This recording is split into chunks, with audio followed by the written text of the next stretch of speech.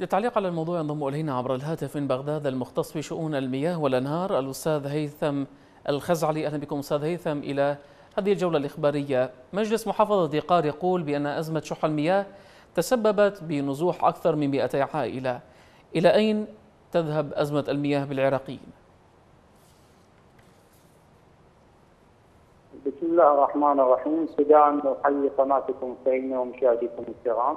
حياكم الله. آه، طبعا موضوع شح المياه هو موضوع يشمل كل الأراضي العراقية على اعتبار أن هناك نقص في منسوب منابع نهر آه، دجلة والفرات وخصوصا دجلة بسبب وجود سد أليسو الذي قامت تركيا بإنشائه وهو قلل حصة العراق المائية من 21 مليار متر مكعب إلى 9.5 مليار متر مكعب. وهناك مشاريع كان من المفترض أن تقوم بحجز مياه احتياط كي توفر المياه لبعض المناطق الزراعية. لكن هذه المشاريع لن تكتمل مثل مشروع الضخمه في شمال العراق والذي توقف.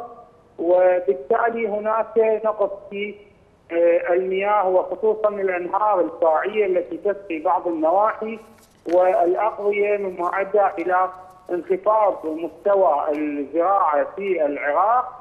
وهناك حالات وفيات في أو يعني نفوق في الثروة الحيوانية. وهناك العديد من العوائل التي تركت المناطق التي تتواجد فيها في النواحي والاقضيه واتجهت نحو مراكز المدن بسبب شحة المياه. نعم أستاذ هيثم يعني هل هذه الأزمة مرشحة ربما للتفاقم في ظل سياسة لم تؤتي ثمارها بعد أشهر قليلة من بدايه من بداية الأزمة؟ طبعا بالحقيقة إن وزارة الموارد المائية العراقية في فترة السيد الجنابي الموجود حاليا تعتبر من افشل الوزارات التي أدارت ملف المياه في العراق. هي لم تقم بأي إجراء من أجل توفير مياه الزراعة والشرب وهي لم تقم بأي خطوات عملية من أجل بناء سدود وإقامة مشاريع. كل ما تعول عليه هو التفاوض مع تركيا وإقناع تركيا بتأجيل ملء سد أليسو. ربما تركيا استجابت في بعض الوقت بسبب أزمتها المالية وتوسع علاقاتها مع الولايات المتحدة الأمريكية وحاجتها للتبادل التجاري مع العراق الذي يبلغ أكثر من 30 مليار دولار. ولكن حالما تسترد تركيا عافيتها سوف تقوم بملء هذا السد وربما تقطع المياه لثلاث سنوات تخفضها لكن أستاذ هيثم ليست تركيا هي, هي الوحيدة أستاذ هيثم تركيا ليست الوحيدة التي قطعت الروافد ع... نعم وأنا قلت لك سابقا إن هناك بعض الشخصيات السياسية والوزراء ربما مرتبطين ببعض دول الجوار وهم يراعون نعم. مصالحها يوفرون لها أوراق ضغط على العراق وعلى حكومة بغداد كي تقوم باستثمارها في وقت لاحق. نعم أستاذ هيثم وزير الموارد المائية قال بأن قضية المياه البصرة خطره حذر الحكومة منذ عام تقريبا عن خطورة ما سيجري في البصرة، إذا كان الوزير قد تحدث وأشعر المسؤولين بخطورة هذه النقطة ولم يكن هناك استجابة، من المسؤول اذا؟